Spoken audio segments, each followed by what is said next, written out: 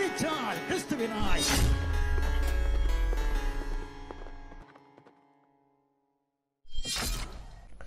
സ്വർഗത്തിൽ നിന്നും ഭൂമിയിലേക്ക് ഇറങ്ങി വന്ന് തിരുവഴുത്തുകളിൽ പ്രവചിച്ചിരുന്നതിനൊത്തവണ്ണം മരക്കുരിശിൽ മരിച്ച് കല്ലറയിൽ അടക്കപ്പെട്ട് മൂന്നാം നാൾ ഉയർത്തെഴുന്നേറ്റ് പാപങ്ങൾക്ക് പരിഹാരമുണ്ടാക്കിയ ശേഷം ഉയരത്തിൽ മഹിമയുടെ വലത്തുഭാഗത്തിരിക്കുകയും ദൈവദൂതന്മാരെക്കാൾ വിശിഷ്ടമായ നാമത്തിന് അവകാശിയായി തീരുകയും ചെയ്ത ഞങ്ങളുടെ കർത്താവായ യേശു ക്രിസ്തുവിന്റെ നിസ്തുലമായ നാമത്തിൽ ഞങ്ങളെ കേൾക്കുന്ന എല്ലാവർക്കും ട്രൂത്ത് ഫൈറ്റേഴ്സിന്റെ സ്നേഹ വന്ദനങ്ങൾ.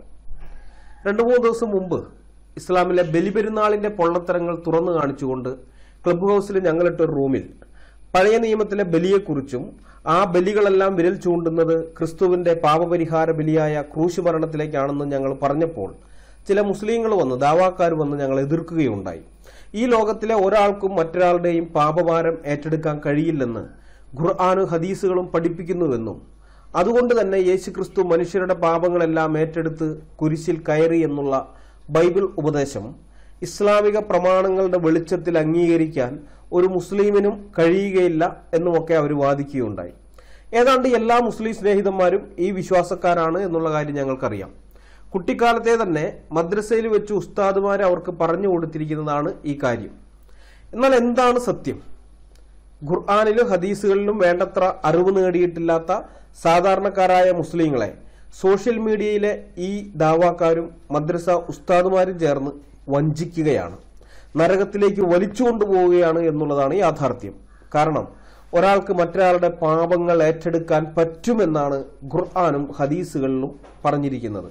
തെളിവായി ഞങ്ങൾ ചില ഖുർആൻ ആയത്തുകളും ഹദീസുകളും നിങ്ങളുടെ മുമ്പാകെ വയ്ക്കുകയാണ് സൂറ ഇരുപത്തൊമ്പതിന്റെ പതിമൂന്ന് നമുക്ക് ആദ്യം നോക്കാം. അവിടെ ഇങ്ങനെയാണ് എഴുതിയിരിക്കുന്നത്.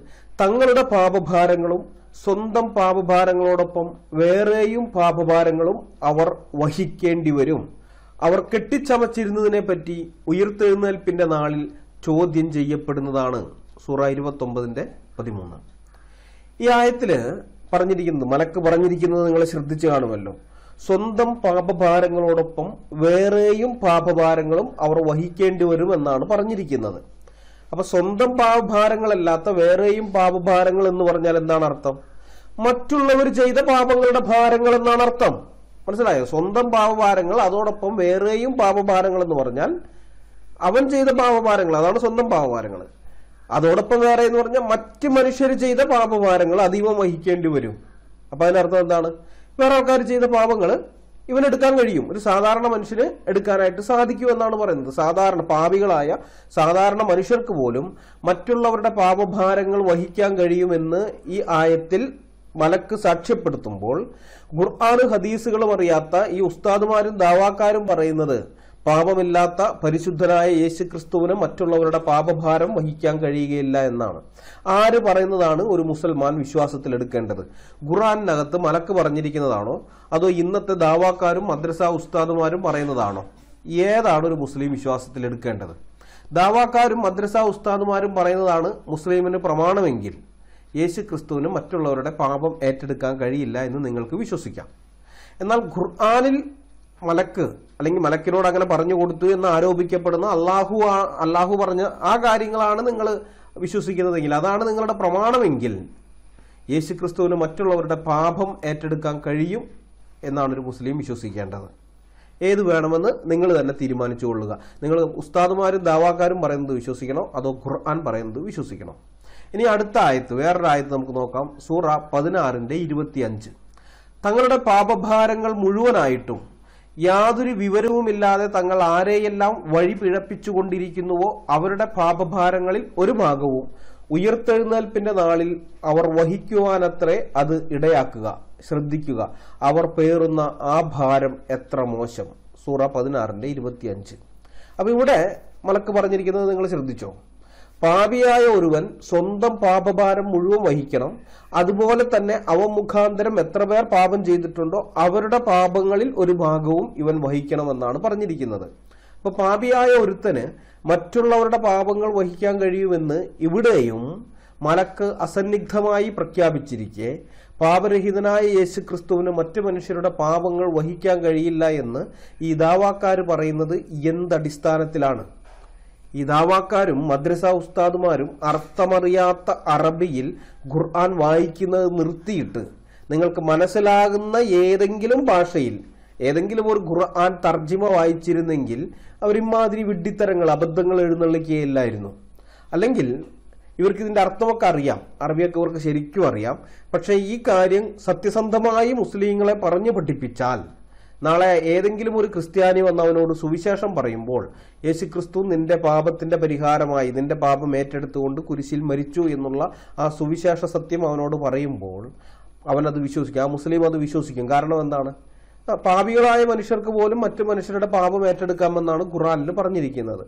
അങ്ങനെയാണെങ്കിൽ പാപമില്ലാത്ത പരിശുദ്ധനായ യേശു ക്രിസ്തുവിന് തീർച്ചയായും എന്റെ പാപം ഏറ്റെടുക്കാൻ കഴിയും. എന്ന് അവൻ ചിന്തിക്കുകയും അവൻ സുവിശേഷത്തിൽ വിശ്വസിച്ച് ക്രിസ്ത്യാനിയായി മാറും എന്നുള്ള ഭയം കൊണ്ട് ഈ ഉസ്താദുമാരും ദാവാക്കാരും ഒന്നും ഇക്കാര്യങ്ങൾ മുസ്ലിങ്ങളെ പഠിപ്പിക്കുന്നില്ല എന്ന് നമുക്ക് അനുമാനിക്കേണ്ടി വരും.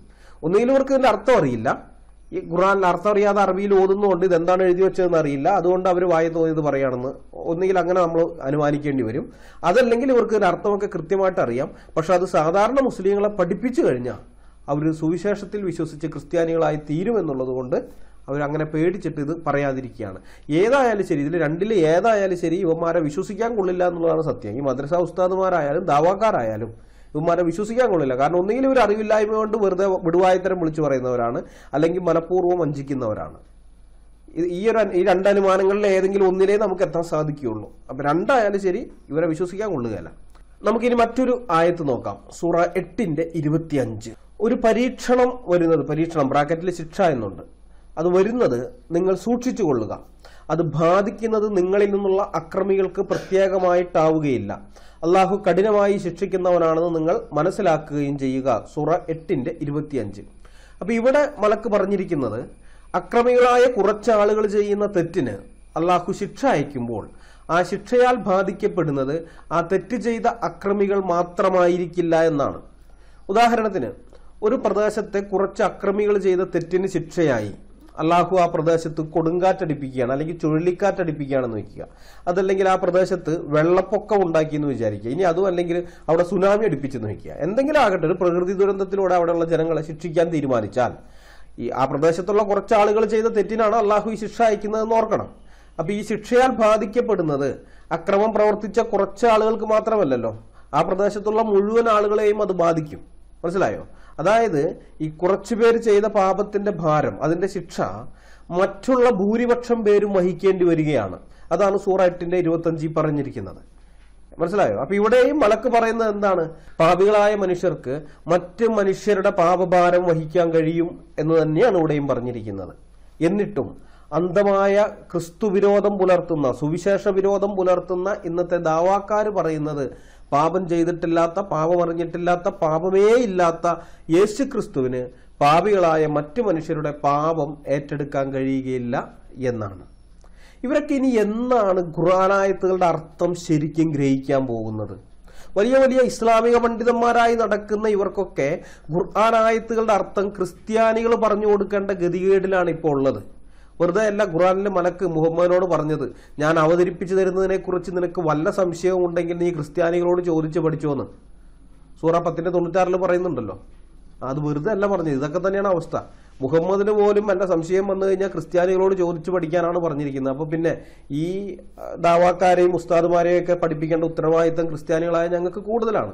കാരണം അവരുടെയൊക്കെ തലതൊട്ടപ്പനായിരിക്കുന്ന മുഹമ്മദിനെ വരെ പഠിപ്പിക്കാൻ ക്രിസ്ത്യാനികളെയാണ് ഖുർആൻ ചുമതലപ്പെടുത്തിയിരിക്കുന്നത്.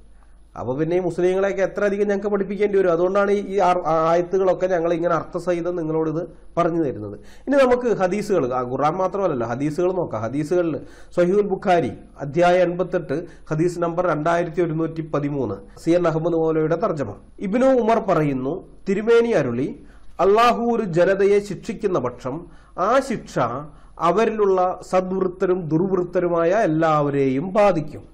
പിന്നീട് അവരിൽ ഓരോരുത്തരെയും തങ്ങളുടെ കർമ്മങ്ങളോടെ പുനരുദ്ധാന ദിവസം ഉയർത്തെഴുന്നേൽപ്പിക്കും. സൊഹീൽ ബുക്കാരി അധ്യായം എൺപത്തെട്ട് ഹദീസ് നമ്പർ രണ്ടായിരത്തി ഒരുന്നൂറ്റി പതിമൂന്ന് അപ്പൊ ഈ ഹദീസ് നമ്മൾ കുറച്ചു മുമ്പ് കണ്ട സൂറ എട്ടിന്റെ ഇരുപത്തഞ്ച് ഉണ്ടല്ലോ. അതായത് ഒരു പരീക്ഷണം അല്ലെങ്കിൽ ശിക്ഷ വരുന്നത് നിങ്ങൾ സൂക്ഷിച്ചു കൊള്ളുക.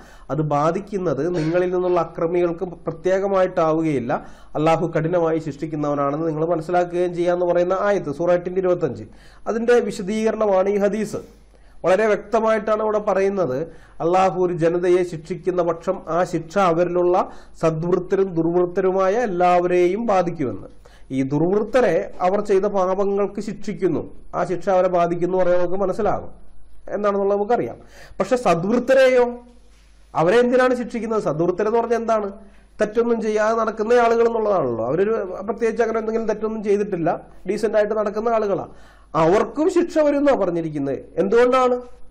മറ്റുള്ളവർ ചെയ്ത തെറ്റിന് മറ്റുള്ളവർ ചെയ്ത പാപത്തിന് ഇവർക്കും ശിക്ഷ കിട്ടും. എന്ന് വെച്ച് കഴിഞ്ഞാൽ അവർ ചെയ്ത പാപത്തിന്റെ ശിക്ഷ ഇവർ വഹിക്കേണ്ടി വരികയാണ്.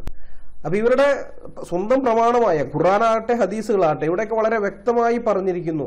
മറ്റുള്ള ആളുകൾ വേറെ ആളുകൾ ചെയ്ത പാപത്തിന്റെ ശിക്ഷ മറ്റു മനുഷ്യർക്ക് പാപികളായ മനുഷ്യർക്ക് ഏറ്റെടുക്കാൻ സാധിക്കും. അപ്പൊ അങ്ങനെയുള്ള ആ പ്രമാണം അത് വളരെ വ്യക്തമായിട്ട് പറഞ്ഞിരിക്കെ. സുവിശേഷം പറയുമ്പോൾ ഇവന്മാരെ എതിർക്കും. യേശുക്രിസ്തു മറ്റു മനുഷ്യരുടെ പാപത്തിന്റെ ശിക്ഷ ഏറ്റെടുത്തു എന്നുള്ള സുവിശേഷം നമ്മൾ പറയുമ്പോൾ ആ സത്യം ഇത് അംഗീകരിക്കാൻ ഇസ്ലാമിക പണ്ഡിതമന്യന്മാർക്ക് ഭയങ്കര ബുദ്ധിമുട്ടാണ് ഭയങ്കര പ്രയാസമാണ്. അത് നടക്കുകയില്ല അത് നടക്കുകയില്ല എന്ന് പറയും എന്തിന്റെ അടിസ്ഥാനത്തിൽ നടക്കുകയില്ല? നിങ്ങളുടെ കിതാബിനകത്ത് പോലും എഴുതി വെച്ചിട്ടുണ്ട്. പാപികളായ മനുഷ്യർക്ക് പോലും സാധാരണക്കാരായ മനുഷ്യർക്ക് പോലും മറ്റ് പാപികളായ മനുഷ്യരുടെ ശിക്ഷ അവരുടെ പാപത്തിന്റെ ശിക്ഷ ഏറ്റെടുക്കാൻ പറ്റും. ആ പാപത്തിന്റെ ഭാരം വഹിക്കാൻ പറ്റും എന്ന് എഴുതി വെച്ചിരിക്കേ. പാപമില്ലാത്ത പരിശുദ്ധനായ യേശുക്രിസ്തുവിന് മാത്രം അത് പറ്റില്ല എന്ന് നിങ്ങൾ പറയുന്നത് എന്തിന്റെ അടിസ്ഥാനത്തിലാണ് ദാവാക്കാരെ? ഏഹ് ഇനി വേറൊരു ഹദീസ് നമുക്ക് നോക്കാം. സ്വഹീഹ് മുസ്ലിം വാല്യം മൂന്ന് ഭാഗം നാൽപ്പത്തി ഒമ്പത് ഹദീസ് നമ്പർ അമ്പത്തി ഒന്ന് ഇത് നിങ്ങൾ സുന്ന ഡോട്ട് കോമിൽ പോയി കഴിഞ്ഞാൽ സുന്ന ഡോട്ട് കോമിൽ രണ്ടായിരത്തി എഴുന്നൂറ്റി അറുപത്തി ഏഴാമത്തെ ഹദീസാണ്. അബൂബുർദ തന്റെ പിതാവിൽ നിന്ന് നിവേദനം. നബി പറഞ്ഞു ഉയർത്തെഴുന്നേൽപ്പ് നാളിൽ മുസ്ലിങ്ങളിൽപ്പെട്ട ചില ആളുകൾ പർവതം പോലുള്ള പാപങ്ങളുമായി വരും. എന്നിട്ട് അള്ളാഹു അവർക്ക് പൊറത്തു കൊടുക്കും. അവ ക്രിസ്ത്യാനികളുടെയോ ജൂതരുടെയോ മേൽ വെക്കും. സ്വഹീ മുസ്ലിം വാല്യം മൂന്ന് ഭാഗം നാൽപ്പത്തി ഒമ്പത് ഹദീസ് നമ്പർ അമ്പത്തി ഒന്ന് മുസ്ലിങ്ങളുടെ പർവതം പോലുള്ള പാപങ്ങൾ പോലും ഏറ്റെടുക്കാൻ ക്രിസ്ത്യാനികൾക്കും യഹൂദന്മാർക്കും കഴിയുമെന്നാണ് ഈ ഹദീസിൽ മുഹമ്മദ് പഠിപ്പിച്ചിരിക്കുന്നത്. തങ്ങൾ പാപികളല്ല എന്ന് ക്രിസ്ത്യാനികളും യഹൂദന്മാരും ഒരിക്കലും വാദിക്കുന്നില്ല. പാപമില്ലാത്തവൻ ദൈവം മാത്രമേ ഉള്ളൂ എന്നാണ് ക്രിസ്ത്യാനികളും യഹൂദന്മാരും പറയുന്നത്. അപ്പോൾ പാപികളായ ക്രിസ്ത്യാനികൾക്കും പാപികളായ യഹൂദന്മാർക്കും പർവതം പോലുള്ള പാപങ്ങളുമായി വരുന്ന മഹാപാപികളായ മുസ്ലിങ്ങളുടെ പാപം മുഴുവൻ ഏറ്റെടുക്കാൻ കഴിയുമെങ്കിൽ പിന്നെ പാപമില്ലാത്ത പരിശുദ്ധനായ യേശു ക്രിസ്തുവിന് മറ്റു മനുഷ്യരുടെ പാപം ഏറ്റെടുക്കാൻ സാധ്യമല്ല എന്ന നുണ എന്തിനാണ് ഈ ദാവാക്കാർ പിന്നെയും പിന്നെയും പ്രചരിപ്പിക്കുന്നത്? മറ്റു മുസ്ലിങ്ങളെയും തങ്ങളോടുകൂടെ നരകത്തിലേക്ക് വലിച്ചു കൊണ്ടുപോകുക എന്നുള്ളതല്ലാതെ വേറെ ഒരു ഉദ്ദേശവും ഇവർക്കില്ല. ഇവർക്കറിയാം തങ്ങൾ എന്തായാലും നരകത്തിലേക്ക് പോകും. കാരണം തങ്ങൾ സുവിശേഷം വിശ്വസിക്കാൻ ഉദ്ദേശിക്കുന്നില്ല. സുവിശേഷത്തിൽ വിശ്വസിച്ച് കഴിഞ്ഞാൽ പിന്നെ അതനുസരിച്ച് ജീവിക്കേണ്ടി വരും. ഇപ്പൊ ജീവിക്കുന്നത് പോലെ ജടികാസക്തി അനുസരിച്ച് ജീവിക്കാൻ പറ്റില്ല. മാത്രമല്ല എങ്ങാനും സ്വർഗ സുബർക്കത്തിൽ എത്തിപ്പെട്ടാൽ അള്ളാന്റെ സ്വർഗ സുബർക്കത്തിൽ എത്തിപ്പെട്ടാൽ ഇവിടുത്തെ പോലെ തന്നെ അവിടെയും പെണ്ണും പടക്കോഴിയും ഒക്കെ കിട്ടും ഇഷ്ടം പോലെ. എന്നാൽ ക്രിസ്ത്യാനികളുടെ സ്വർഗത്തിൽ അങ്ങനെ വല്ലതും ഉണ്ടോ? ഒന്നുമില്ല. അവിടെ കല്യാണം കഴിക്കുന്നില്ല കല്യാണത്തിന് കൊടുക്കുന്നുമില്ല എന്നാണ് കർത്താവ് പഠിപ്പിച്ചത്. അപ്പൊ അതുകൊണ്ട് സ്വർഗത്തിൽ പോകണമെങ്കിൽ അള്ളാന്റെ സ്വർഗത്തിൽ തന്നെ പോകണം ക്രിസ്ത്യാനികളുടെ സ്വർഗം നമുക്ക് വേണ്ടേ വേണ്ട എന്ന് വിചാരിച്ച് നടക്കുന്നവരായി ഇവർ. അതിനേക്കാൾ ഭേദം നരകത്തിൽ പോകുന്നത് അങ്ങനെ ഒരു ചിന്ത. അപ്പൊ അങ്ങനെ നടക്കുന്നത് കൊണ്ട് തന്നെ ഞങ്ങൾ എന്തായാലും നരകത്തിലേക്കാണ്. ബാക്കിയുള്ള മുസ്ലിങ്ങൾ അങ്ങനെ തന്നെ ഞങ്ങളുടെ കൂടെ പോരട്ടെ. അവർ ഒരു കാരണവശാലും പാവമോചനം പ്രാപിച്ച് ആത്മരക്ഷ നേടി ക്രിസ്ത്യാനികളുടെ സ്വർഗത്തിലേക്ക് പോകരുത്. ഇങ്ങനെ ചിന്തിക്കുന്നവരെ അവർ അതുകൊണ്ടാണ് ഈ കള്ളപ്രചരണങ്ങൾ ഇവർ പിന്നെയും പിന്നെയും നടത്തുന്നത്. അപ്പോൾ മുസ്ലിം സുഹൃത്തുക്കളോട് ഞങ്ങൾക്ക് പറയാനുള്ളത് ഇങ്ങനെയുള്ളവരുടെ കള്ളപ്രചരണങ്ങൾ നിങ്ങൾ തിരിച്ചറിഞ്ഞ് അത് മനസ്സിലാക്കി ഇവരെയൊക്കെ ഒഴിഞ്ഞിരിക്കാൻ. ഞങ്ങളെ കേൾക്കുന്ന എല്ലാ മുസ്ലിം സ്നേഹിതന്മാരെയും ഞങ്ങൾ ബുദ്ധി ഉപദേശിക്കുകയാണ്. ഇവർ നിങ്ങളെ നരകത്തിലേക്കാണ് നയിക്കുന്നത് എന്നുള്ള കാര്യം നിങ്ങൾ മറക്കാതിരിക്കുക. ഇനി വേറെ ഹദീസ് ചില ഹദീസുകൾ. ആയിഷ പറയുന്നു ibn Harithah Jafar ibn Rawaha എന്നിവരുടെ മരണവൃത്താന്തം എത്തിയപ്പോൾ തിരുമേനി ദുഃഖിതനായി. ഞാൻ വാതിലിന്റെ വിടവിലൂടെ അവിടത്തെ നോക്കിക്കൊണ്ടിരുന്നു. അതിനിടയിൽ ഒരാൾ തിരുമേനിയുടെ അടുക്കൽ വന്നിട്ട് ജാഫറിന്റെ ഭാര്യയെ പറ്റിയും അവരുടെ കരച്ചിലിനെ പറ്റിയും പറഞ്ഞു. അപ്പോൾ അവരെ അതിൽ നിന്ന് തടയാൻ തിരുമേനി കൽപ്പിച്ചു. അദ്ദേഹം തിരിച്ചുപോയി കുറച്ചു കഴിഞ്ഞ ശേഷം മടങ്ങി വന്നു. അവർ അദ്ദേഹത്തെ അനുസരിക്കുന്നില്ലെന്ന് തിരുമേനിയെ അറിയിച്ചു. അവരെ അതിൽ നിന്ന് തടയാൻ വീണ്ടും തിരുമേനി കൽപ്പിച്ചു. അദ്ദേഹം പോയി മൂന്നാം പ്രാവശ്യവും മടങ്ങി വന്നു പറഞ്ഞു. ദൈവദൂതരെ ആ സ്ത്രീകൾ ഞങ്ങൾ പറയുന്നത് കൂട്ടാക്കുന്നില്ല. അവരുടെ വായിൽ കുറെ മണ്ണ് വാരിയിടുക എന്ന് തിരുമേനി അരുളിയതായി ആയിഷ പറയുന്നു. സൊഹീൽ ബുഖാരി അധ്യായം ഇരുപത്തിമൂന്ന് ഹദീസ് നമ്പർ അറുന്നൂറ്റി മുപ്പത്തിയാറ് ഈ ഹദീസ് സൊഹീ മുസ്ലിമിലും ഉണ്ട് കേട്ടോ അതും കൂടി ഞാൻ വായിക്കാം. സൊഹീ മുസ്ലിം വാല്യം ഒന്ന് ഭാഗം പതിനൊന്ന് ഹദീസ് നമ്പർ മുപ്പത്. സുന്ന ഡോട്ട് കോമിൽ നിങ്ങൾ ചെന്ന് കഴിഞ്ഞാൽ തൊള്ളായിരത്തി മുപ്പത്തഞ്ച് സുന്ന ഡോട്ട് കോമിൽ ചെന്ന് സൊഹീ മുസ്ലിമിന്റെ തൊള്ളായിരത്തി മുപ്പത്തി അഞ്ചാമത്തെ ഹദീസ്. ആയിഷ നിവേദനം. Zaid ibn Haris Jafar bin Abi Talib Abdullah ibn Rawaha എന്നിവരുടെ മരണവൃത്താന്തം നബിക്ക് എത്തിയപ്പോൾ അദ്ദേഹം ദുഃഖിതനായി ഇരിക്കുകയുണ്ടായി. ആയിഷ പറയുന്നു ഞാൻ വാതിലിന്റെ വിടവിലൂടെ അദ്ദേഹത്തെ നോക്കിക്കൊണ്ടിരുന്നു. അപ്പോൾ ഒരു മനുഷ്യൻ അദ്ദേഹത്തിന്റെ അടുക്കൽ ചെന്നുകൊണ്ട് അള്ളാഹുവിന്റെ ദൂതരെ ജാഫറിന്റെ സ്ത്രീകൾ കരയുന്നുണ്ട് എന്ന വിവരം പറഞ്ഞു. അപ്പോൾ നബി അദ്ദേഹത്തോട് പോകുവാനും അവരെ അതിൽ നിന്ന് തടയുവാനും കൽപ്പിച്ചു. ഉടനെ അദ്ദേഹം പോയി. വീണ്ടും അദ്ദേഹം നബിയുടെ അടുക്കൽ വന്നുകൊണ്ട് അവർ അദ്ദേഹത്തെ അനുസരിക്കുന്നില്ല എന്ന് പറഞ്ഞു. അപ്പോൾ രണ്ടാമതും അദ്ദേഹത്തോട് നീ പോയി അവരെ തടയുക എന്ന് നബി കൽപ്പിച്ചു. അപ്പോഴും അദ്ദേഹം പോയി. പിന്നെയും അദ്ദേഹം നബിയുടെ അടുക്കൽ വന്നുകൊണ്ട് പറഞ്ഞു അള്ളാഹുവിന്റെ ദൂതരെ അള്ളാഹുവാണ് സത്യം. തീർച്ചയായും അവർ എന്നെ പരാജയപ്പെടുത്തിയിരിക്കുകയാണ്. എന്ന് വെച്ചാൽ അവർ കരച്ചിൽ നിർത്തുന്നില്ല ബ്രാക്കറ്റിൽ ആയിഷ പറയുന്നു അപ്പോൾ നബി പറഞ്ഞു നീ പോയി അവരുടെ വായിൽ മണ്ണ് വാരിയിടുക. ആയിഷ പറയുന്നു അപ്പോൾ ഞാൻ നബി അയച്ച മനുഷ്യനോട് പറഞ്ഞു നീ കൊള്ളരുതാത്തവൻ തന്നെ. അള്ളാഹുവാണ് സത്യം. നബി നിന്നോട് കൽപ്പിച്ച കാര്യം വേണ്ടവണ്ണം ചെയ്യാതെ അവിടുത്തെ നീ വിഷമിപ്പിച്ചിരിക്കുകയാണ്. സൊഹീ മുസ്ലിം വാല്യം ഒന്ന് ഭാഗം പതിനൊന്ന് ഹദീസ് നമ്പർ മുപ്പത്.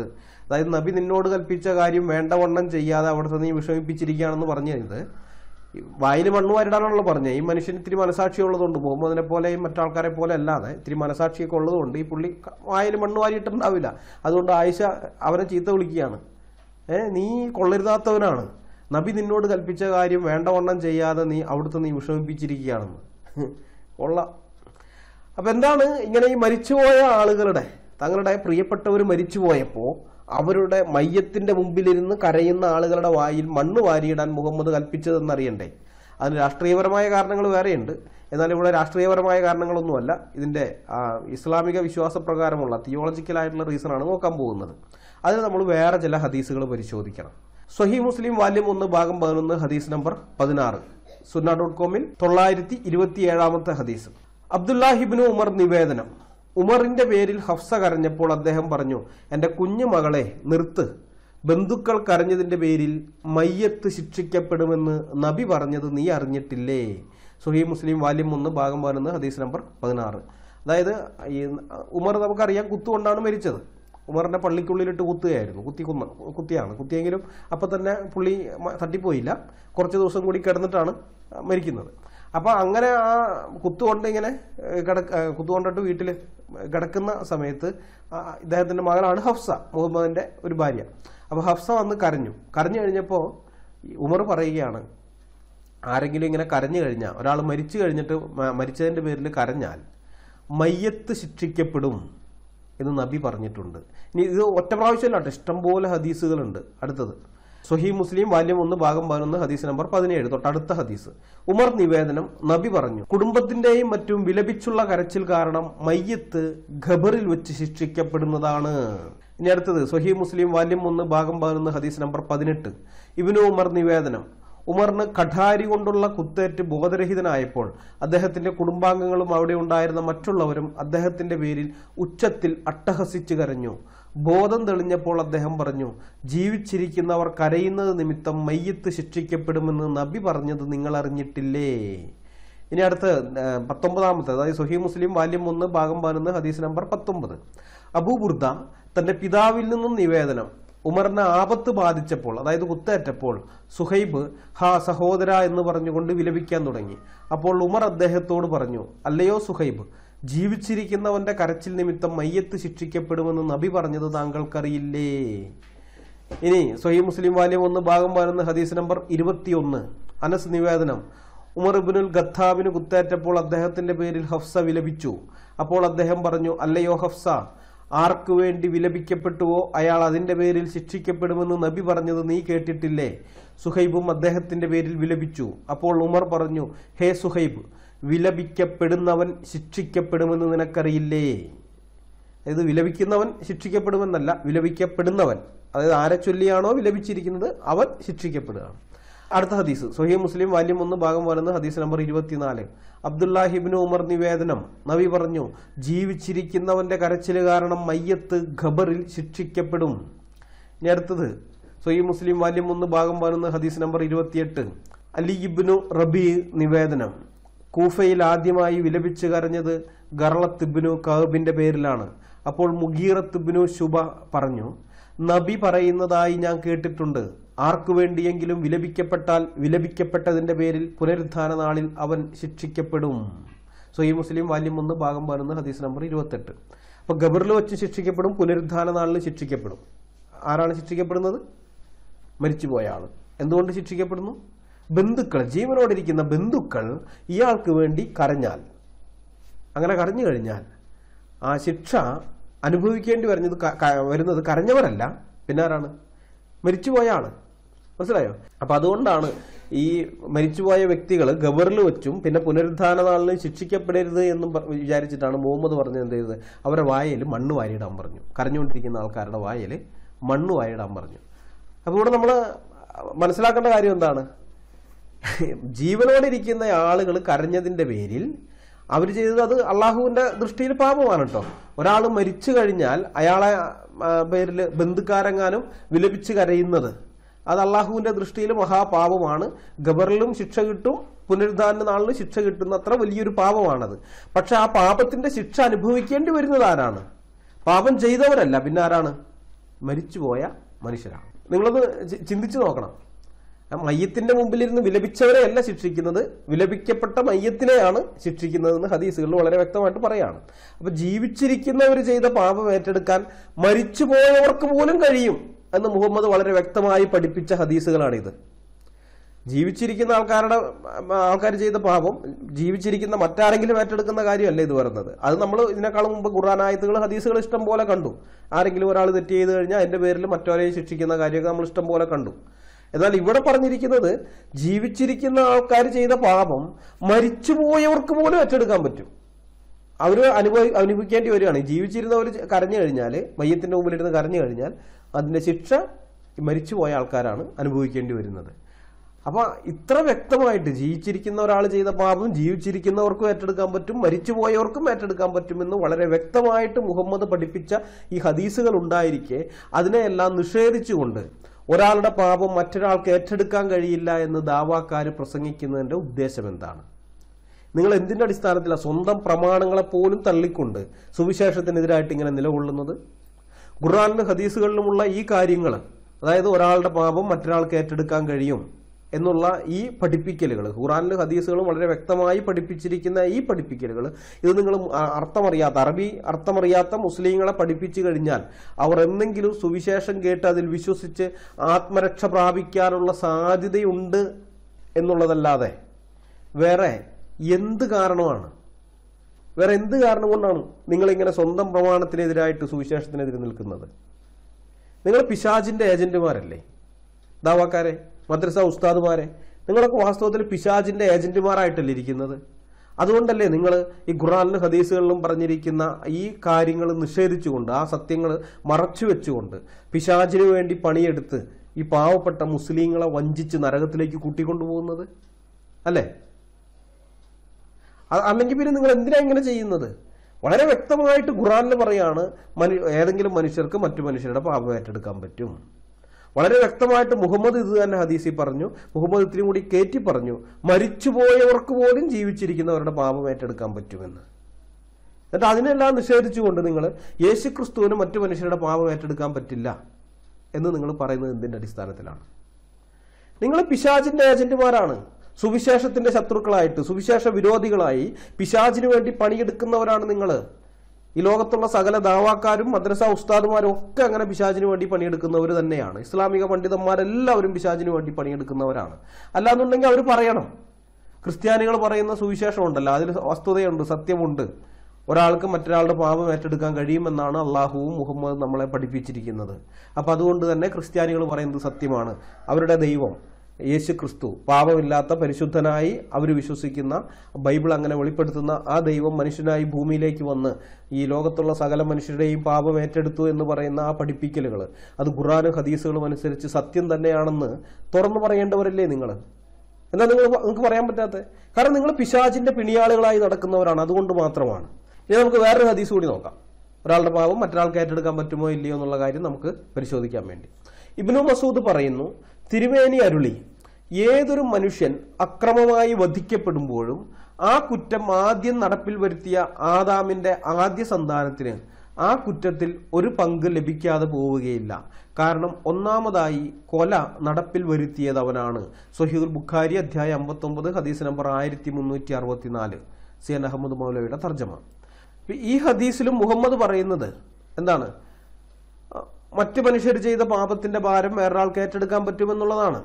ഭൂമിയിൽ ആര് കൊലപാതകം എന്ന പാപം ചെയ്താലും ആ പാപത്തിന്റെ ഒരു പങ്ക് അതിന്റെ ഒരു ഓഹരി ആദാമിന്റെ ആദ്യ സന്താനത്തിനുണ്ട് എന്ന് പറഞ്ഞാൽ എന്താണ് അർത്ഥം? ഈ കൊലപാതകൾ ചെയ്യുന്ന പാപത്തിന്റെ ഭാരം ആദ്യ ആദാമിന്റെ ആദ്യ സന്താനം അതായത് കായൻ ഏറ്റെടുക്കുകയാണ്. മനസ്സിലായോ? കായൻ ഒരു പാപിയാണ്. പാവിയായ കായന് പാപികളായ മറ്റുള്ളവരുടെ പാപത്തിന്റെ ഭാരം ഏറ്റെടുക്കാൻ സാധിക്കുമെന്നാണ് ഈ ഹദീസിലും പറഞ്ഞിരിക്കുന്നത്. അപ്പോൾ പാപിയായ ഒരുത്തന്റെ പാപഭാരം പാപിയായ മറ്റൊരാൾക്ക് ഏറ്റെടുക്കാൻ കഴിയുമെന്നുള്ളതിന് ഇത്രമാത്രം തെളിവുകൾ ഇസ്ലാമിക ഗ്രന്ഥങ്ങളിൽ ഉള്ളപ്പോഴാണ് ഈ ദാവാക്കാർ പറയുന്നത്. പാപമില്ലാത്ത പരിശുദ്ധനായ യേശു ക്രിസ്തുവിന് പാപികളായ മനുഷ്യരുടെ പാപം ഏറ്റെടുക്കാൻ കഴിയുകയില്ല. അത് ഖുറാന്റെയും ഹദീസുകളുടെയും അധ്യാപനത്തിന് വിരുദ്ധമാണ്. അതുകൊണ്ട് തന്നെ ഒരു മുസ്ലിമിന് അത് അംഗീകരിക്കാൻ കഴിയുകയില്ല എന്ന്. മനസ്സിലാകാത്ത അറബി ഭാഷയിൽ ഈ ഖുറാനും ഹദീസുകളും വായിക്കുന്നതുകൊണ്ടാണ് ഇവരിൽ കുറെ പേര് തെറ്റിപ്പോകുന്നത്.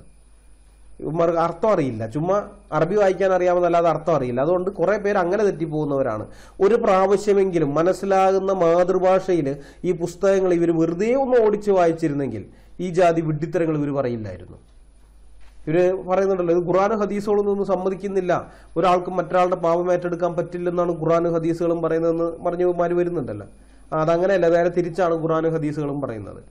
ഇനി വേറെ കൂട്ടരെന്ന് പറഞ്ഞാൽ ബാക്കിയുള്ള ഈ പണ്ഡിതന്മാരെന്ന് പറയുന്നത് അർത്ഥം മനസ്സിലാക്കാൻ കഴിവുള്ളവരാണെങ്കിലും ഈ ഇന്നോവ ഉസ്താദിനെ പോലെയൊക്കെ ജഡമോഹങ്ങൾക്ക് വേണ്ടി ജീവിതം മാറ്റിവെച്ചവരായതിനാൽ അത് നഷ്ടപ്പെടുത്താൻ താല്പര്യമില്ലാത്തതുകൊണ്ട് ഈ സത്യങ്ങൾ അവർ മുസ്ലിങ്ങളെ പഠിപ്പിക്കുന്നില്ല. മനസ്സിലായോ? ഈ ഇന്നോവ ഉസ്താദിന്റെ കാര്യമൊക്കെ നമുക്കറിയാവുന്നതാണല്ലോ അതുപോലെ കുറേ ഉസ്താദുമാരുണ്ടല്ലോ. അവർക്ക് ഈ ഈ ജഡത്തിന്റെ ഇച്ഛകളനുസരിച്ച് അങ്ങനെ ജീവിക്കാനാണ് അവരൊക്കെ ആഗ്രഹം. അതിന്റെ അപ്പുറത്ത് വേറെ ഒന്നിനെ കുറിച്ച് അവർക്ക് ചിന്തയില്ല. അപ്പോൾ അതിന് കുറേ ആളുകൾ സ്വന്തം മതത്തിൽ എത്ര ആളുകൾ കൂടുതലുണ്ടാവുന്നോ? ആ എങ്കിൽ മാത്രമേ ഇങ്ങനെയുള്ള ചൂഷണത്തിനുള്ള കൂടുതൽ അവസരം കിട്ടുകയുള്ളൂ. അതുകൊണ്ട് ആളുകൾ ഇസ്ലാം മതം വിട്ട് മറ്റു മതങ്ങളിലേക്ക് പോകരുത്. മതങ്ങളിലേക്കോ അല്ലെങ്കിൽ മതരഹിതരായിട്ടോ ഒന്നും പോകരുത് എന്നുള്ള ആഗ്രഹമുണ്ട്. അപ്പോൾ അതുകൊണ്ട് ഇവരെന്ത് ചെയ്യും? ഈ കള്ളക്കഥകളൊക്കെ പറഞ്ഞ് ഇതിനകത്ത് ഇവരെ പിടിച്ചു നിർത്തുകയാണ്. അതാണ് അവർ ചെയ്യുന്നത്. പക്ഷെ മുസ്ലിങ്ങളെ നിങ്ങൾ ഈ ദാവാക്കാരുടെയും ഉസ്താദുമാരുടെയൊക്കെ വാക്കുകൾ കേട്ട് നരകത്തിലേക്ക് പോകരുതെന്ന് ഞങ്ങൾക്ക് ആഗ്രഹമുള്ളത് കൊണ്ടാണ് ഞങ്ങൾ ഇത് നിങ്ങളോട് പിന്നെയും പിന്നെയും പറയുന്നത്. ഞങ്ങൾ പറയുന്ന സുവിശേഷം ഇത് മാനുഷിക ചിന്തയിൽ നിന്ന് ഉത്ഭവിച്ചതല്ല. ഒരിക്കലും മാനുഷിക ബുദ്ധിയിൽ ഇങ്ങനെയൊരു കാര്യം ഉത്ഭവിക്കുകയുമില്ല. തെറ്റ് ചെയ്താൽ തെറ്റ് ചെയ്തവർ ശിക്ഷിക്കപ്പെടണമെന്നല്ലാതെ തെറ്റ് ചെയ്തവർക്ക് പകരമായി തെറ്റ് ചെയ്യാത്ത മറ്റൊരാൾ ശിക്ഷിക്കപ്പെടണമെന്ന് ഏത് മനുഷ്യന്റെ ബുദ്ധിയിലാണ് വരിക? ഏത് മനുഷ്യൻ അങ്ങനെ പറയുക? ഒരാളും പറയില്ല. ഒരാളും പറയില്ല. പക്ഷെ സുവിശേഷം പറയുന്നത് ആ കാര്യമാണ്. അങ്ങനെയാണ് പറയുന്നത്. മനുഷ്യർ ചെയ്ത പാപത്തിന് പരിഹാരം വരുത്തുവാൻ പാപമില്ലാത്ത പരിശുദ്ധനായ ദൈവം തന്നെ ഭൂമിയിലേക്ക് ഇറങ്ങി വന്ന് മനുഷ്യരുടെ പാപം ഏറ്റെടുത്ത് ശിക്ഷിക്കപ്പെട്ടു എന്നുള്ളതാണ് സുവിശേഷത്തിന്റെ കാതൽ. ഇങ്ങനെ ഒരു ചിന്ത ഇങ്ങനെ ഒരു കാര്യം ഇത് ഒരു മനുഷ്യന്റെയും ബുദ്ധിയിൽ വരികയില്ല. ഒരു മനുഷ്യന്റെയും ചിന്തയിൽ വരികയില്ല. പാപപരിഹാരത്തിന് വേണ്ടിയുള്ള മനുഷ്യരുടെ ചിന്തകളിൽ പല പദ്ധതികളും വന്നിട്ടുണ്ട്. ലോകത്ത് ആരംഭകാലം മുതലേ ഉള്ള മനുഷ്യർ ഈ പാപം എന്നുള്ളത് അവർക്ക് എല്ലാവർക്കും ഒരു പ്രശ്നമാണ്. ഇസ്ലാമിൽ മാത്രമാണ് അത് വലിയ പ്രശ്നമില്ലാത്തത്. ബാക്കിയുള്ളിടത്തല്ല ഈ പാപം എന്ന് പറയുന്ന സംഗതി ഒരു വലിയ ഫിലോസഫിക്കൽ പ്രോബ്ലമായിട്ടാണ് എല്ലാവർക്കും ഉണ്ടായിരുന്നത്. അപ്പോൾ അവർ ഇതിനെന്താണ് പരിഹാരം? ഇതിനെന്താണ് പരിഹാരം എന്ന് വിചാരിച്ചിട്ട് പല പല പാപം പരിഹാര മാർഗങ്ങളും കണ്ടെത്തിയിട്ടുണ്ട്. പാപത്തിന് പ്രായശ്ചിത്തം ചെയ്യാൻ വേണ്ടി നേർച്ച നേരുക എന്നുള്ളത് ദാനധർമ്മങ്ങൾ നടത്തുക പുണ്യസ്ഥലങ്ങൾ സന്ദർശിക്കുക പിന്നെ ഇസ്ലാമിനകത്ത് പിശാചിനെ കല്ലെറിയുക. ഇങ്ങനെയൊക്കെയുള്ള പല പല പദ്ധതികളും മനുഷ്യബുദ്ധിയിൽ നിന്ന് ഉരുവായി വന്നിട്ടുണ്ട്. പക്ഷെ മനുഷ്യർ ചെയ്ത പാപത്തിന് പകരമായിട്ട് മറ്റൊരാൾ ശിക്ഷ അനുഭവിച്ച് മനുഷ്യരെ പാപത്തിന്റെ ശിക്ഷയിൽ നിന്ന് രക്ഷിക്കുക എന്നുള്ള പദ്ധതി ഒരു മനുഷ്യന്റെയും ഉള്ളിൽ തോന്നിയിട്ടില്ല തോന്നുകയുമില്ല. സാമാന്യ ബുദ്ധിയിൽ ഒരു മനുഷ്യന്റെയും ബുദ്ധിയിൽ തോന്നുന്ന കാര്യമല്ല. അപ്പൊ അതുകൊണ്ട് തന്നെ ഈ സുവിശേഷം എന്ന് പറയുന്നത് ഏതെങ്കിലും മനുഷ്യന്റെ ബുദ്ധിയിൽ തോന്നിയ കാര്യമാണെന്ന് നിങ്ങൾ ചിന്തിക്കേണ്ട. കാരണം ഇങ്ങനെ ഒരു ഒരു ഒരുത്തന്റെ മനുഷ്യ ഒരു തോന്നുകയില്ല ഇത്. നിങ്ങളൊന്ന് ചിന്തിച്ചു നോക്കിയാൽ ഇപ്പോൾ ഒരു രാജാവ് ഉണ്ടെന്ന് വിചാരിക്കും. ഒരു പ്രദേശത്ത് ഒരു രാജാവ്. അപ്പൊ ആ രാജാവ് അവിടുത്തെ അദ്ദേഹത്തിന്റെ ആ രാജ്യത്തിനകത്ത് ഒരു ഗ്രാമ ഒരു ഗ്രാമത്തിലുള്ളവരല്ല ഈ രാജാവിനെതിരെ എന്തെങ്കിലും ഒരു തെറ്റ് ചെയ്യാണ്. രാജ്യദ്രോഹ കുറ്റമോ എന്തോ ആകട്ടെ തെറ്റ് ചെയ്യാണ്. അപ്പൊ ഈ ഗ്രാമവാസികളെ മുഴുവൻ കൊല്ലാൻ വേണ്ടി രാജാവ് ഉത്തരവിടുന്നു.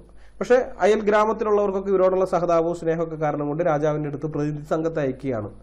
ഇതിന്റെ എങ്ങനെയെങ്കിലും അവരുടെ ശിക്ഷ ഇത് ഇളവ് ചെയ്തു കൊടുക്കണം എന്നുള്ള ഇതിനു വേണ്ടി ഇവരെ കൊല്ലരുത്. അപ്പൊ രാജാവ് ചോദിക്കുകയാണ് അവരോട് ശരി ഞാൻ എന്താണ് പകരം ചെയ്യേണ്ടത്? ഇവർ തെറ്റ് ചെയ്തു തെറ്റിന് ഇവർ ശിക്ഷിക്കപ്പെടേണ്ടവരാണ്. അപ്പൊ പിന്നെ എന്താണ് ചെയ്യേണ്ടത്? അപ്പൊ സ്വാഭാവികമായിട്ട് ഒരു ഓരോരുത്തർ പറയും അവരെ നാട് കടത്തിക്കോ അല്ലെങ്കിൽ അവരെ രാജാവിന്റെ അടിമകളാക്കി വെച്ചോ അല്ലെങ്കിൽ അവരെ കൊണ്ട് ഇത്ര വർഷത്തേക്ക് രാജാവിന് വേണ്ടി പണിയെടുക്കുന്ന ഒഴിവേലക്കാരാക്കി വെച്ചോ. പല പല അഭിപ്രായങ്ങളും വരും. അവരെ കൊല്ലരുത് അതൊഴികെ വേറെ എന്ത് ചെയ്തു എന്ന് പറഞ്ഞ് പല അഭിപ്രായം വരും. പക്ഷെ ആരെങ്കിലും രാജാവിനോട് പറയോ രാജാവേ അങ്ങയുടെ പ്രജകളാണ്. അപ്പൊ അവർ ചെയ്ത കാര്യങ്ങൾക്ക് അങ്ങേ അങ്ങയ്ക്കും ഒരു ധാർമ്മിക ഉത്തരവാദിത്തമുണ്ട്. അങ്ങയുടെ സംരക്ഷണത്തിലുള്ളവർ ചെയ്ത കാര്യങ്ങൾക്ക് അങ്ങേക്ക് ഒരു ധാർമ്മിക ഉത്തരവാദിത്തമുണ്ട്.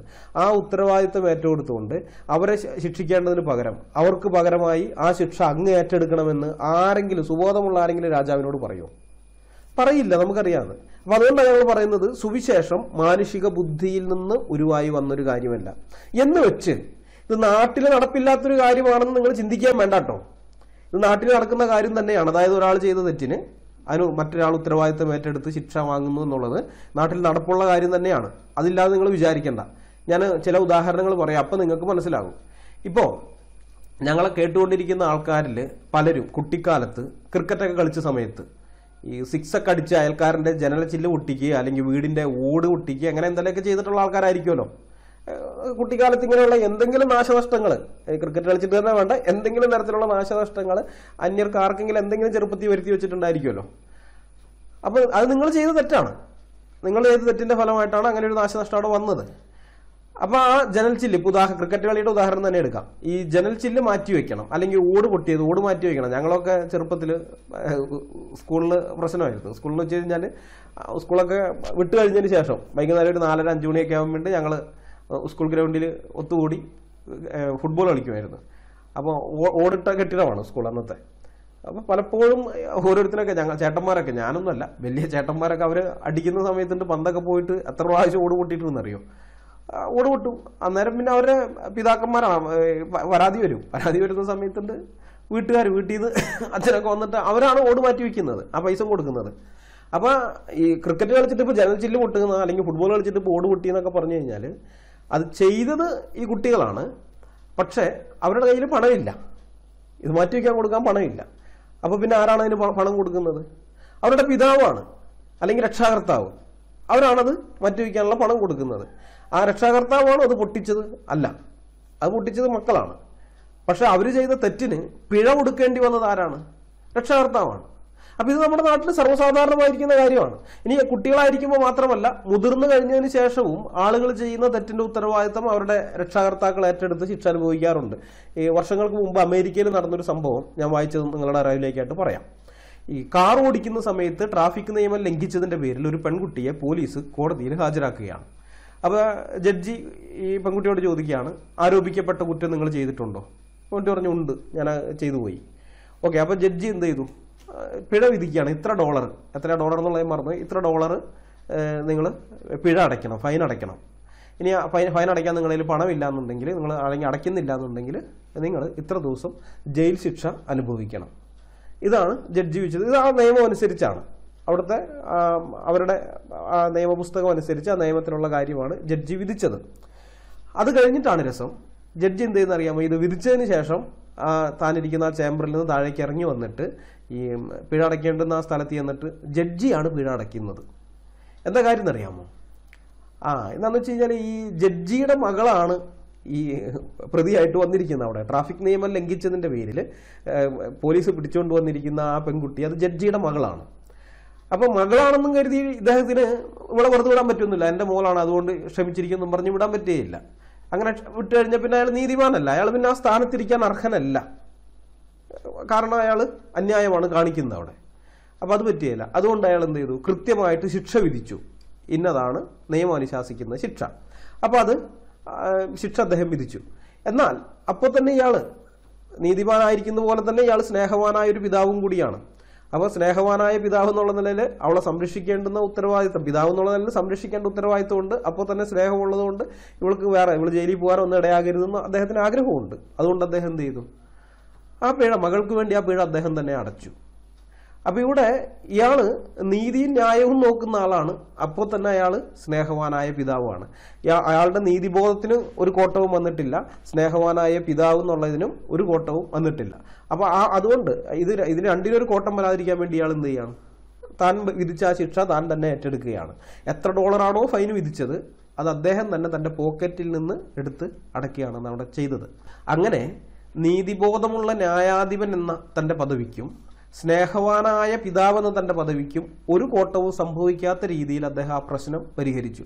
അതിനുവേണ്ടി അദ്ദേഹത്തിന് നഷ്ടം സഹിക്കേണ്ടി വന്നു. അദ്ദേഹത്തിന്റെ പോക്കറ്റിൽ നിന്ന് കുറച്ച് ഡോളർ പോയി നഷ്ടം സഹിക്കേണ്ടി വന്നു. പക്ഷെ നഷ്ടം സഹിച്ചിട്ടാണെങ്കിലും ആ പ്രശ്നത്തിന് അദ്ദേഹം ഒരു പരിഹാരം ഉണ്ടാക്കി. ഞാൻ പറഞ്ഞത് കുട്ടിക്കാലത്ത് മാത്രമല്ല മുതിർന്നു കഴിഞ്ഞതിന് ശേഷവും മക്കളൊക്കെ ചെയ്യുന്നതിന്റെ ഉത്തരവാദിത്തം പിതാക്കന്മാരെ ഏറ്റെടുക്കാറുണ്ട്. ഇതുപോലെ തന്നെ ഞങ്ങളുടെ നാട്ടിൽ നടന്നൊരു സംഭവം കൂടി എനിക്ക് നേരിട്ട് അറിയാവുന്ന ഒരു സംഭവം കൂടി പറയാം. ആൾക്കാരുടെ പേരൊന്നും പറയുന്നില്ല. കാരണം എന്റെ നാട്ടിലുള്ള ഒരു വീഡിയോ കാണുമ്പോൾ മനസ്സിലാവും ഇന്ന ആളെ ഉദ്ദേശിച്ച് ഞാൻ പറഞ്ഞു തന്നെ അതുകൊണ്ട് ഞാൻ പേരൊന്നും പറയുന്നില്ല.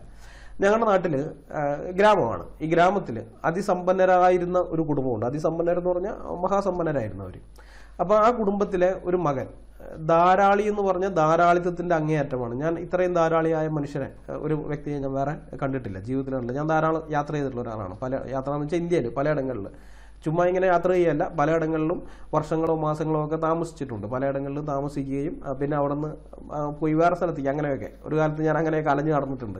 അത് നമ്മൾ ഈ വൈക്കം മുഹമ്മദ് ബഷീറൊക്കെ നമ്മുടെ ഇഷ്ടപ്പെട്ട കഥാകാരനായിരുന്നു. അപ്പം അദ്ദേഹം ഇന്ത്യ മുഴുവൻ ഇങ്ങനെ അലഞ്ഞതിന്റെ ഇതൊക്കെ വായിക്ക് വായിച്ചപ്പോഴാണ് എനിക്കും അങ്ങനെ ഒരു തോന്നലുണ്ടായത് അപ്പോൾ ഏതായാലും അങ്ങനെയൊക്കെയുള്ള ഇതിൽ ഞാൻ ധാരാളം ആളുകളെ കണ്ടിട്ടുണ്ടെങ്കിലും ഇദ്ദേഹത്തെ പോലെ ഒരു ധാരാളിയായ ഒരു മനുഷ്യനെ ഞാൻ കണ്ടിട്ടില്ല.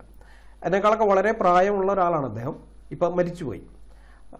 ഈ ആയിരത്തി തൊള്ളായിരത്തി എഴുപതുകളുടെ അവസാന കാലത്ത് ഈ ചേട്ടൻ കോളേജിൽ പഠിക്കുന്ന ആ സമയത്ത് അദ്ദേഹം തന്റെ കൂട്ടുകാരോടൊപ്പം ഉത്തരേന്ത്യയിലേക്ക് ടൂർ പോകാൻ വേണ്ടി അച്ഛന്റെ അടുത്ത് വന്നിട്ട് കാശ് ചോദിച്ചപ്പോൾ അച്ഛൻ പറഞ്ഞു അലമാരയിൽ കാശ് ഇരിപ്പുണ്ട് നീ ഇഷ്ടമുള്ള നിനക്ക് ആവശ്യമുള്ള എത്രയാണെന്ന് വെച്ചാൽ അത് എടുത്തിട്ട് പോകുന്നു പറഞ്ഞു.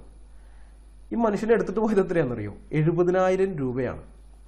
ആയിരത്തി തൊള്ളായിരത്തി എൺപതിന് മുമ്പുള്ള ആ കാലത്തെ എഴുപതിനായിരം രൂപ.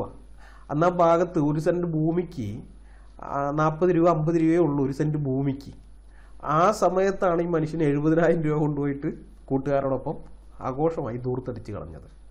അങ്ങനെ ഒരു മനുഷ്യൻ ഇദ്ദേഹം ഈ കോളേജ് പഠനമൊക്കെ കഴിഞ്ഞതിന് ശേഷം പിന്നീട് വിവാഹമൊക്കെ കഴിഞ്ഞെങ്കിലും ധാരാളമായ സാമ്പത്തിക ബാധ്യതകൾ പലപ്പോഴും വരുത്തി വെച്ചിരുന്നു. ഈ പിതാവ് ഇവർ ആ ഫാമിലി നല്ലൊരു ഫാമിലി ആയതുകൊണ്ട് പലയിടത്തുനിന്ന് ഇദ്ദേഹം കടം വാങ്ങും. കട ലക്ഷങ്ങൾ കൊടുക്കാൻ ആൾക്കാരുണ്ട് താനും പക്ഷേ ഈ കടമൊക്കെ വീട്ടുന്നത് പിതാവാണ്. ഈ ആ, കാശ് ഓരോരുത്തുനിന്ന് വാങ്ങുന്നു പല വിധത്തിൽ ചെലവഴിക്കുന്നു. അച്ഛനാണ് അതെല്ലാം വീട്ടുന്നത്. ഈ കടം ഉണ്ടാക്കുന്നത് ഇയാളാണ്. പക്ഷെ അത് അടച്ചു വീട്ടുന്നത് പിതാവ്. അപ്പൊ ഇത് ഇതെന്താ സംഭവം എന്ന് മനസ്സിലായി? ഇതാണ് ധാർമ്മിക ഉത്തരവാദിത്തം അല്ലെങ്കിൽ മോറൽ റെസ്പോൺസിബിലിറ്റി എന്ന് പറയുന്നത്. അങ്ങനെ ഒരു സംഗതി ഉണ്ട് ലോകത്ത്. മോറൽ റെസ്പോൺസിബിലിറ്റി ഇതെല്ലാം മനുഷ്യരുടെയും ഉള്ളിലുള്ള ഒരു സംഗതിയാണ് സ്വതന്ത്ര ഇന്ത്യയിലെ മൂന്നാമത്തെ റെയിൽവേ മന്ത്രിയായിരുന്ന ലാൽ ബഹദൂർ ശാസ്ത്രി റെയിൽവേ മന്ത്രി സ്ഥാനം രാജിവെക്കുകയാണ് ഉണ്ടായത് അതിന്റെ കാരണം എന്താണെന്ന് വെച്ച് കഴിഞ്ഞാൽ തമിഴ്നാട്ടിലെ അരിയലൂർ എന്ന് പറയുന്ന സ്ഥലത്ത് നടന്നൊരു ട്രെയിൻ അപകടമാണ്. ഏതാണ്ട് സർക്കാരിന്റെ കണക്കിൽ നൂറ്റി നാൽപ്പത്തിരണ്ട് പേര് പക്ഷെ അതൊന്നുമല്ല ഇരുന്നൂറ്റമ്പതിന് മേലെ ആളുകൾ കൊല്ലപ്പെട്ടിട്ടുണ്ട്. അത് ഈ ഡ്രൈവറുടെ അന്ന് കൽക്കരി വണ്ടിയാണ്. അപ്പോൾ രാത്രി നല്ല മഴയുണ്ടായിരുന്നു. പാലം കവിഞ്ഞ് അരിയല്ലൂരിലെ പാലം കവിഞ്ഞ് വെള്ളം ഒഴുകിക്കൊണ്ടിരിക്കുകയാണ്. ഈ എഞ്ചിൻ ഡ്രൈവറും അതുപോലെ തന്നെ വേറെ ഫോർമാന്മാരുണ്ട് ഈ കൽക്കരി കോരിയിടുന്ന ആളുകൾ അവർ രണ്ടുപേരും. അവർ ശ്രദ്ധിച്ചില്ലായിരുന്നു. മഴ നന്നായിട്ട് പെയ്തുകൊണ്ടിരിക്കുന്നുണ്ട്. പക്ഷെ ഈ പാലം ഇത്ര വെള്ളം ഒഴുകി ഒഴുകി ഒഴുകി പാലത്തിന്റെ തൂണുകളൊക്കെ അടിയിൽ നിന്ന് ഇത് പോയിരുന്നു. പിന്നെ വെള്ളത്തിന്റെ മുകളിലൂടെ ഇങ്ങനെ കയറിയിരിക്കുന്ന ആരും ഒരു ശ്രദ്ധിച്ചില്ല. അങ്ങ് പോയി. പോയി കഴിഞ്ഞപ്പോൾ എൻജിൻ കടന്ന് പകുതി എത്തി കഴിഞ്ഞപ്പോഴേക്കും അവിടെ പാലം തകർന്നു വീണു. ബാക്കിയുള്ള ബോഗികൾ വന്നു അതിൽ വീണു. ധാരാളം പേര് ഒഴുകിപ്പോയി പല വിധത്തിലൊക്കെ. അപ്പോൾ സർക്കാരിന്റെ കണക്കിൽ നൂറ്റി നാൽപ്പത്തിരണ്ട് പേരാണ്. പക്ഷെ അത്രയൊന്നുമല്ല അതിലും കൂടുതലുണ്ട്. അപ്പൊ ഇവരുടെ ഈ അതിനകത്തുള്ള എഞ്ചിൻ ഡ്രൈവറുടെയും ഫോർമാൻസിന്റെ രണ്ടുപേരുടെയും അവരുടെ ശ്രദ്ധക്കുറവ് കൊണ്ട് സംഭവിച്ച അപകടമാണത്. പക്ഷേ ഇതിന്റെ ധാർമ്മിക ഉത്തരവാദിത്തം ഈ ലാൽ ബഹദൂർ ശാസ്ത്രി ഏറ്റെടുത്തു. അങ്ങനെ ഏറ്റെടുത്തിട്ടാണ് അദ്ദേഹം രാജിവെക്കുന്നത്. ഇദ്ദേഹമല്ലാട്ടോ ട്രെയിൻ ഓടിച്ചത്. അദ്ദേഹത്തിന്റെ പിഴവേ അല്ല പക്ഷെ തന്റെ കീഴിലുള്ള ആൾക്കാർക്ക് പറ്റിയ തെറ്റിന്റെ ഉത്തരവാദിത്തം ശാസ്ത്രി ഏറ്റെടുക്കുകയും രാജിവെക്കുകയും ചെയ്തു. പിന്നീട് അത്തരം ഒരു ധാർമ്മികത കാണിച്ചിട്ടുള്ളത് നിതീഷ് കുമാറാണ്. ആയിരത്തി തൊള്ളായിരത്തി തൊണ്ണൂറ്റി ഒമ്പതിൽ ആസാമിലുണ്ടായ ഗൈസാൽ ട്രെയിൻ ദുരന്തത്തിന്റെ പേരിൽ അന്നത്തെ റെയിൽവേ മന്ത്രിയായിരുന്ന നിതീഷ് കുമാർ റെയിൽവേ മന്ത്രിസ്ഥാനം രാജിവെക്കുകയുണ്ടായി. അതുപോലെ തന്നെ ഇന്നും പല കോർപ്പറേറ്റ് സ്ഥാപനങ്ങളിലും ജോലിക്കാർ വരുത്തിയ തെറ്റിന്റെ ധാർമ്മിക ഉത്തരവാദിത്തം ഏറ്റെടുത്ത് അവരുടെ മുകളിലുള്ള ഒരു സിഇഒ വരെയുള്ള ആളുകൾ രാജിവെക്കാറുണ്ട്. അവരല്ല ചെയ്തത്. പക്ഷേ കീഴിലുള്ളവർ ചെയ്തു. അതിന്റെ ധാർമ്മിക ഉത്തരവാദിത്വം തനിക്കുണ്ടെന്നും പറഞ്ഞുകൊണ്ട് ഈ മനസ്സിനകത്ത് ധാർമ്മിക ബോധമുള്ള മനുഷ്യർ രാജിവെക്കുന്നുണ്ട്. അപ്പൊ ഇത് ഇതിനെയാണ് ഈ മോറൽ റെസ്പോൺസിബിലിറ്റി എന്ന് പറയുന്നത്. അങ്ങനെ ഒരു സംഗതി ഉണ്ട്. ഈ പാപികളായ മനുഷ്യർക്ക് അവരുടെ സംരക്ഷണത്തിന് കീഴിലുള്ള ആളുകളുടെ അവരുടെ കീഴിലുള്ള ആൾക്കാരുടെ അത് ചിലപ്പോൾ മക്കളാകാം അല്ലെങ്കിൽ ജോലിക്കാരാകാം ആരും ആകട്ടെ അവരുടെ തെറ്റിന്റെ ഉത്തരവാദിത്തം ഏറ്റെടുക്കാൻ കഴിയും. അവരാണ് തെറ്റ് ചെയ്തതെങ്കിലും എനിക്ക് അതിൽ ധാർമ്മിക ഉത്തരവാദിത്തം ഉണ്ടെന്ന് പറഞ്ഞ് ഏറ്റെടുത്ത് അതിന് എന്ത് പരിഹാരമാണോ അല്ലെങ്കിൽ എന്ത് പ്രായശ്ചിത്തമാണോ ചെയ്യേണ്ടത് അത് ചെയ്യുന്നു. അതല്ലാന്നുണ്ടെങ്കിൽ സ്വയം ശിക്ഷ ഏറ്റെടുക്കുന്നു. ഇപ്പൊ ഇവർ രാജിവെച്ച് ഇറങ്ങി പോകേണ്ട കാര്യമില്ല പക്ഷെ അത് ചെയ്യാം. അപ്പോൾ അത് അവരുടെ ധാർമ്മിക ബോധം അവരെ അതിന് പ്രേരിപ്പിക്കുന്നതുകൊണ്ട് അവർ ചെയ്യുന്നത്. പാപികളായ മനുഷ്യർക്ക് പോലും ആ ധാർമ്മിക ബോധമുണ്ട്. പക്ഷെ പാപമില്ലാത്ത പരിശുദ്ധനായ ദൈവത്തിന് തന്റെ സൃഷ്ടികളായ മനുഷ്യരുടെ തെറ്റിന്റെ ധാർമ്മിക ഉത്തരവാദിത്തം ഏറ്റെടുക്കാൻ സാധിക്കില്ല. അത്ര ഉന്നതമായ ധാർമ്മിക ബോധം ദൈവത്തിനില്ല എന്നാണ് ഈ ദാവാക്കാർ വാദിക്കുന്നതിന്റെ സാരം. അള്ളാഹുവിന് അങ്ങനെ ഒരു ധാർമ്മിക ബോധമൊന്നും ഇല്ല എന്നാണ് ദാവാക്കാരും മദ്രസ ഉസ്താദുമാരും വാദിക്കുന്നതെങ്കിൽ ഞാൻ അതിനോട് പൂർണമായിട്ട് യോജിക്കുന്നു. എനിക്കതിൽ യാതൊരു എതിർപ്പുമില്ല. അള്ളാഹുവിന്റെ ധാർമ്മിക ബോധം അത്രയേ ഉള്ളൂ. അത് ഞാൻ സമ്മതിച്ചു തരാം. പക്ഷെ എല്ലാ ധാർമ്മികതയുടെയും പ്രഭവ കേന്ദ്രമായ സൃഷ്ടാവും രക്ഷിതാവും വീണ്ടെടുപ്പുകാരനുമായ സത്യദൈവത്തിന് തന്റെ സൃഷ്ടികളുടെ കാര്യത്തിൽ അങ്ങനെ ഒരു ധാർമ്മിക ഉത്തരവാദിത്തമില്ല എന്നാണ് മുസ്ലിങ്ങളെ നിങ്ങൾ പറയുന്നതെങ്കിൽ നിങ്ങളോട് സഹതപിക്കുകയല്ലാതെ ഞങ്ങൾക്ക് വേറെ ഒന്നും ചെയ്യാനില്ല. കുട്ടിക്കാലത്തെ മദ്രസയിൽ വെച്ച് തന്നെ ബ്രെയിൻ വാഷ് ചെയ്യപ്പെട്ടവരായതുകൊണ്ടാണ് സത്യദൈവത്തെക്കുറിച്ച് നിങ്ങൾക്ക് ഇങ്ങനെയൊരു വികല ധാരണയുണ്ടായത് ബൈബിളിലെ ദൈവം നീതിമാനുമാണ് സ്നേഹവാനുമാണ്. നീതിമാൻ എന്ന നിലയിൽ ദൈവത്തിന് പാപത്തിന് നേരെ കണ്ണടയ്ക്കാൻ പറ്റില്ല. സ്നേഹവാൻ എന്ന നിലയിൽ ആ ദൈവത്തിന് തന്റെ സൃഷ്ടികളെ നരകത്തിലേക്ക് വിട്ടുകൊടുക്കാനും പറ്റില്ല. അതുകൊണ്ടാണ് ദൈവം നീതിമാനായ ന്യായാധിപതി എന്ന നിലയിൽ പാപത്തിന് ശിക്ഷ വിധിക്കുകയും സ്നേഹവാനായ പിതാവ് എന്ന നിലയിൽ ആ ശിക്ഷ താൻ തന്നെ ഏറ്റെടുക്കുകയും ചെയ്തത്. നീതിമാനും സ്നേഹവാനുമായ ദൈവം എന്ന നിലയിൽ ദൈവം ചെയ്യേണ്ടത് ചെയ്തു കഴിഞ്ഞു. പാപമോചനത്തോടുള്ള ബന്ധത്തിൽ മനുഷ്യരുടെ പാപമോചനത്തോടുള്ള ബന്ധത്തിൽ ദൈവം ചെയ്യേണ്ടത് ചെയ്തു കഴിഞ്ഞു. ഇനി ചെയ്യേണ്ടത് മനുഷ്യരാണ്. മനുഷ്യന്റെ റോളാണ് ഇനി. അവനത് അംഗീകരിക്കാൻ തയ്യാറാകണം. ഞാനൊരു പാപിയാണെന്നും പാപത്തിന്റെ ശിക്ഷ നിത്യമരണമാണെന്നും അതിൽ നിന്ന് എന്നെ രക്ഷിക്കാൻ വേണ്ടി ദൈവം മനുഷ്യനായി ഭൂമിയിൽ പിറന്ന് എന്റെ പാപത്തിന്റെ ശിക്ഷ ഏറ്റെടുത്ത് കുരിശിൽ മരിച്ചത് എന്നെ നരകത്തിലേക്ക് വിടാതിരിക്കാൻ വേണ്ടിയാണെന്നും മൂന്നാം നാൾ ഉയർത്തെഴുന്നേറ്റത് എന്നെ നീതീകരിക്കുന്നതിന് വേണ്ടിയാണെന്ന് അംഗീകരിക്കുകയും എനിക്ക് വേണ്ടി കുരിശിൽ മരിച്ചടക്കപ്പെട്ട് ഉയർത്തെഴുന്നേറ്റ യേശുക്രിസ്തുവിനെ എന്റെ ജീവിതത്തിന്റെ നാഥനായി കർത്താവായി ഞാൻ സ്വീകരിക്കുന്നു എന്നും ഏതൊരാൾ അവിടുത്തെ മുമ്പാകെ ഏറ്റുപറയുന്നുവോ അവർക്ക് പാപമോചനമുണ്ട്. അവർക്ക് നിത്യജീവൻ ദാനമായി ലഭിക്കും. അവർ സ്വർഗത്തിന്റെ അവകാശികളായി തീരും ഇതാണ് സുവിശേഷം. ഞങ്ങൾ അറിയിക്കുന്ന സുവിശേഷം ഇതാണ്. മനുഷ്യന്റെ പാപപരിഹാരത്തിന് വേണ്ടി ദൈവത്തിന്റെ ഭാഗത്ത് നിന്ന് ചെയ്യേണ്ടതൊക്കെ ചെയ്തു കഴിഞ്ഞിരിക്കുന്നു. ഇനി മനുഷ്യന്റെ ഭാഗത്ത് നിന്നാണ് ചെയ്യാനുള്ളത്. ഈ മക്കളുടെ വിശപ്പടക്കാൻ വേണ്ടി ആഹാരം ഉണ്ടാക്കി കൊടുക്കുക എന്നുള്ളത് മാതാപിതാക്കളുടെ ഉത്തരവാദിത്തമാണ്. ആഹാരം ഉണ്ടാക്കി അവർക്ക് കൊടുക്കുക എന്നുള്ളത്. എന്നാൽ വിശപ്പടങ്ങണം എന്നുണ്ടെങ്കിൽ അത് കഴിക്കണം. ആ കഴിക്കേണ്ട ഉത്തരവാദിത്തം മാതാപിതാക്കളുടെ അല്ല മക്കളുടെയാണ്. മാതാപിതാക്കൾക്ക് ആഹാരം ഉണ്ടാക്കാനും ഇനി വേണമെന്നുണ്ടെങ്കിൽ അത് കുഴച്ചുരുളി ഉരുട്ടി മക്കളുടെ വായിൽ വെച്ചു കൊടുക്കാനും പറ്റും.